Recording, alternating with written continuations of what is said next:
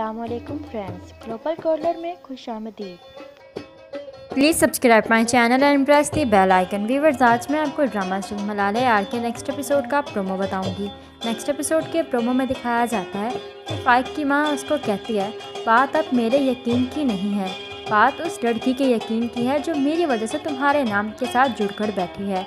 जिसके बाद दिखाया जाता है कि अंबर पलाज को कह रही होती है, अभी तो सिर्फ़ पेपर दिए हैं और ये हाल है। समझती नहीं है। वो यही समझती है ना कि तुम उससे कम पढ़े लिखे हो, इसीलिए ऐसा कर रही है। जिसके बाद दिखाया जाता है कि बालाज जाकर हुरिया को कहता है, ऐसी तालीम का क्या फ़ायदा? जो दूसरों के सामने अपने शोहर को जलील किया जाए।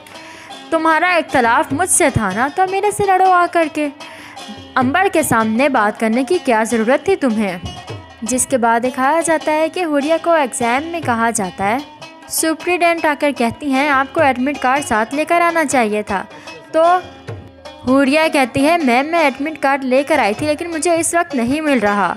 तो सुप्रीडेंट कहती है, ठीक है, जब तक आपको एडमिट कार्ड नहीं मिल रहा, आप रूम से बाहर चले जाएँ। जब एडमिट कार्ड मिल जाए, तब अंदर आइएगा। तो वीवर्स ये था मलाला यार ड्रामे के नेक्स्ट एपिसोड का प्रोमो आप लोगों को क्या लगता है कि हुरिया बालाज से कहेगी और बालाज उसके लिए उसका एडमिट कार्ड ले आएगा?